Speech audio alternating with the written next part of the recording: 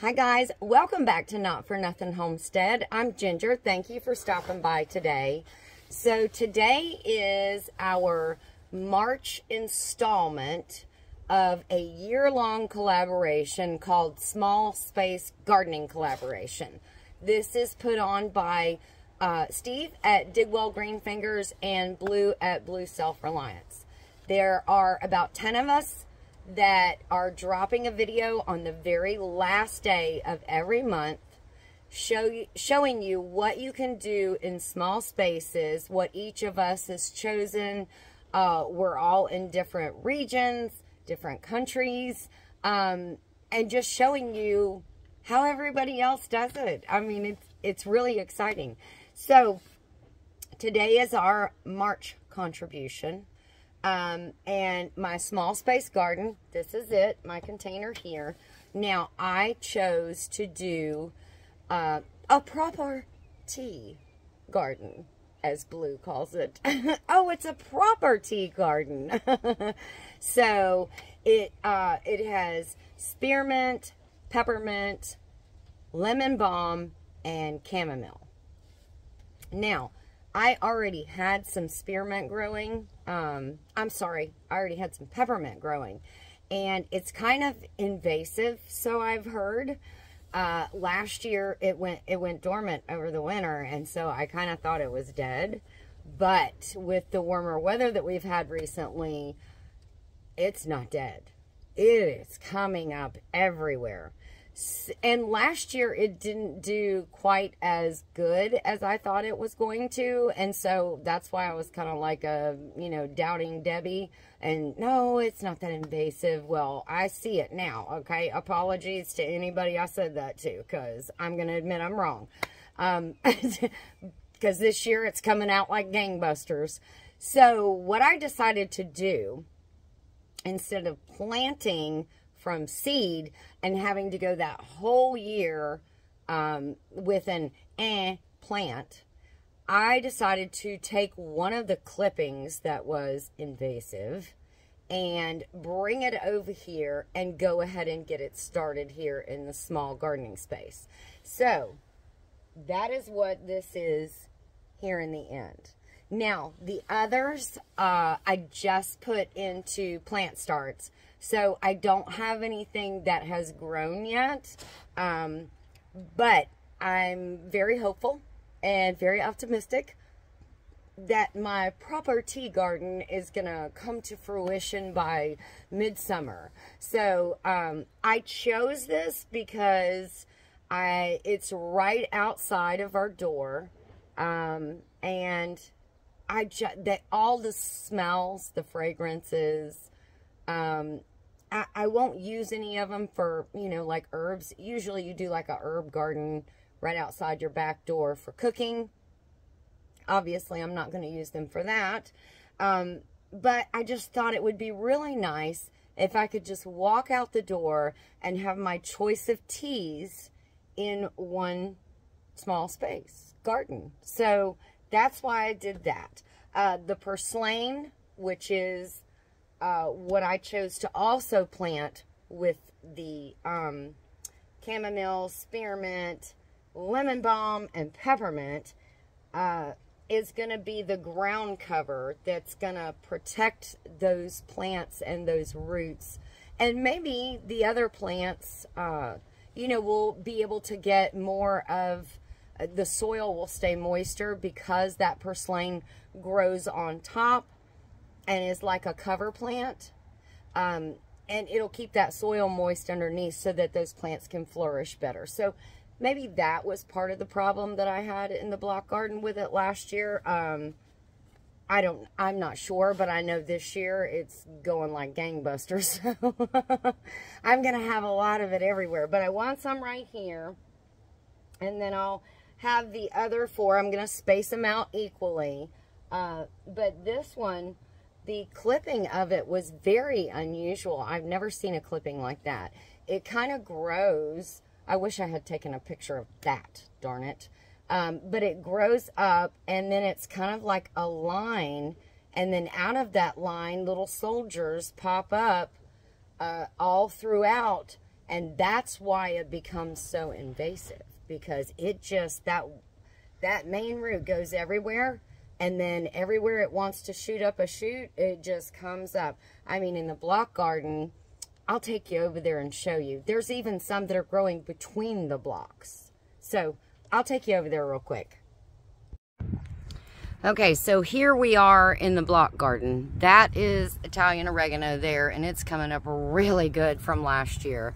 But, and these are chives, so I'll move these back so you can see. Look, they're even growing up between the blocks. That is crazy. And the main plant was right here. If you can see these little broken pieces, that was the main plant. And I thought it had died off. But they're coming up out of the sides. Here, here. I mean, they're going to grow everywhere. Look way down there. That's how far, like, that feeder root went. Way down there. Maybe we can go down there and pull that up. Let's come down here and pull part of this up and then I can show you what I was talking about.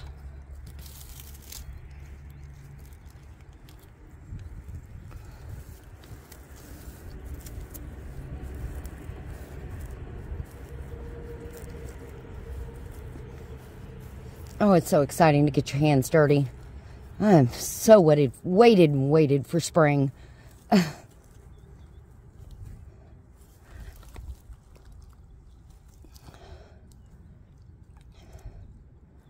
okay, let's see.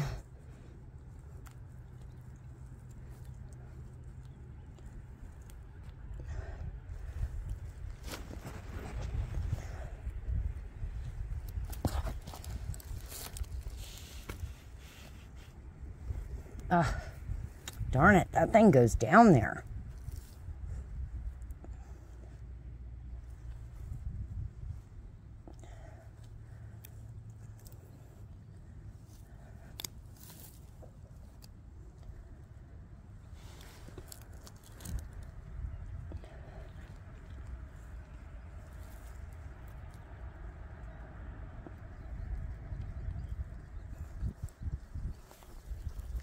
Okay, got it. Whew.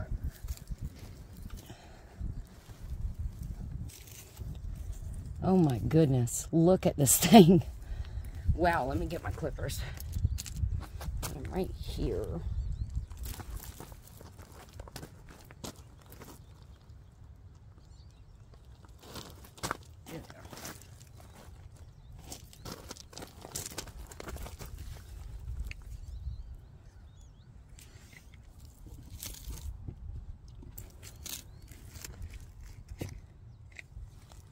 Oh my goodness.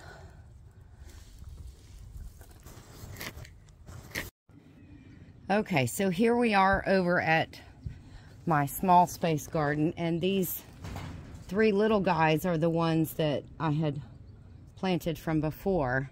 So I think what I'll do is I'll take these instead of throwing them away and I'll dig down and put these in here and then here so I can section it off and this will be the, the block for all of them. So, nice good soil here.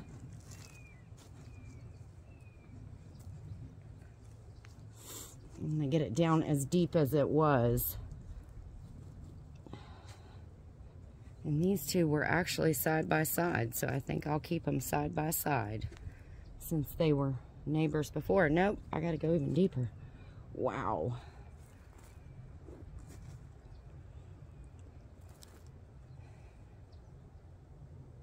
Okay, that should be good.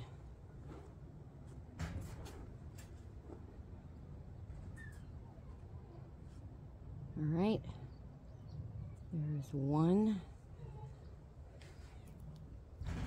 I know you can hear our little puppy, one of them, one of two. Okay. I am going to give them just a little bit of space each. Not a whole lot, but a little bit. Okay, that one will be there. And then this one will be here. Okay. I want to kind of try to keep them the way they were.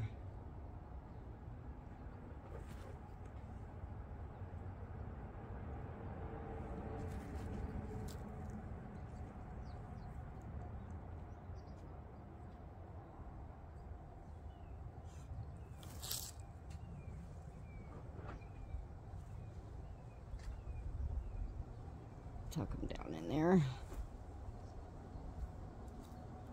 Okay.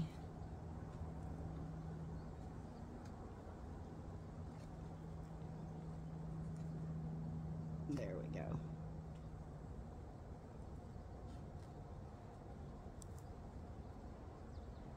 There's one and two. It's got to stand up. Three. Okay. Now these can go down a little more. There we go. And there we go. Okay. So we brought five more over. I hope I don't regret that decision. Knowing what I know now. But we're going to give them a little bit of a water in. And then this part of the proper tea garden will be well started. And we just had a freeze not too, maybe a week and a half ago. And these guys, I kept them nice and covered up and they made it through quite well. I see one little, two little leaves that are burnt off. All right, guys, that's it for us here today at Not For Nothing Homestead, bringing you our March installment of the year-long collaboration. Ooh, I saw my fingers. They're all dirty. My nails are dirty. They've been in the dirt. Yay! I'm so excited. I love this. Okay, guys, take care of you and yours. God bless, and we'll see you in our next video. Hopefully, the next one will have some little baby plants to show. Bye, guys.